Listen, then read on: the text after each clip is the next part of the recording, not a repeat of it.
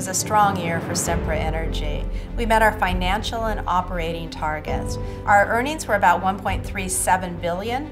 In the last five years at Sempra, our market cap has doubled with a total return of 112%. In addition, if you look at our dividend, which is very important to many of our investors, we've had a 10-year dividend growth rate of 140%.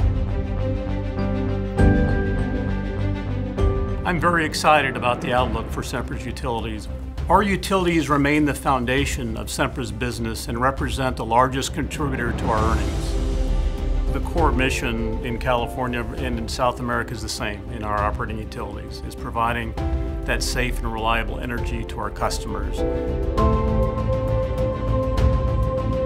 The strategy for our infrastructure business is really having a laser-like focus on building great long-term contracted infrastructure. The key priorities for the infrastructure business group is really to find those great projects that are going to help fuel our future at Sempra. Our businesses are the ones that will be a key to growing our earnings over the course of time.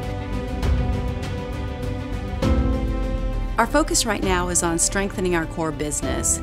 This means every day demonstrating our unwavering commitment to safety, reliability, operational excellence, and to our customers and the communities we serve. You'll see this play out in our system integrity programs where we're investing to enhance the safety and reliability of our gas operations system. We think there are significant investments to be made in the area of infrastructure around safety and reliability, and we couldn't be more excited about the prospects of grid modernization. We're also seeing some great developments in the area of energy storage.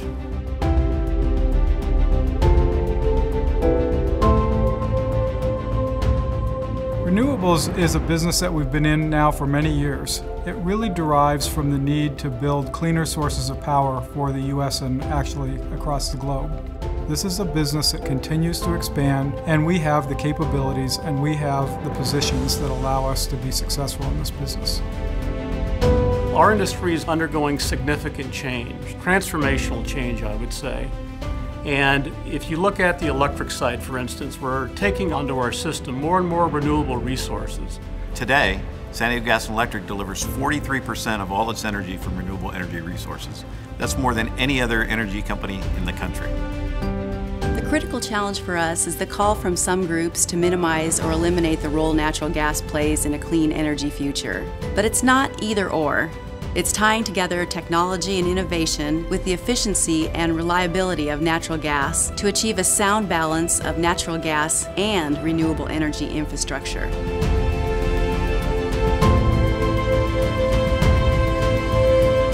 Fortunate to have had a newfound gas resource within the U.S. that has driven our LNG business. From a business where we built plants years ago to bring LNG into the U.S. to now building this $10 billion facility in Louisiana, which is going to take some of this U.S. gas, convert it to LNG, and ship it to Asia and other markets. With the opening of the Mexican energy markets, we also have an opportunity for great growth in a multitude of energy platforms in Mexico. I'm really excited about the opportunities at IEnova. And this year we expect to bid on new projects in electric transmission for some additional renewables, and we expect to get into new businesses such as liquids pipelines. That's really exciting for IEnova. In South America, in Peru and Chile where we operate, we have found over the last decade that they're growing at significant growth rates, both in terms of customer adds as well as energy demand.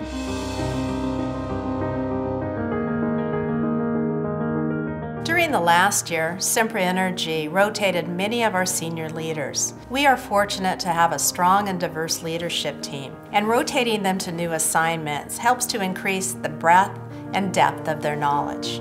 Our utilities have been in business for over a century, and we have provided benefits to our communities, our quality of life for the last 100 years.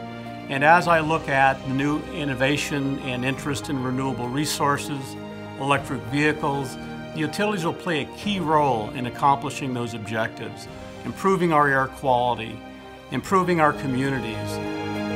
I love my job at SCG&E. I get to work every day with 4,000 amazing people working on significant and complex issues that make a difference in people's lives.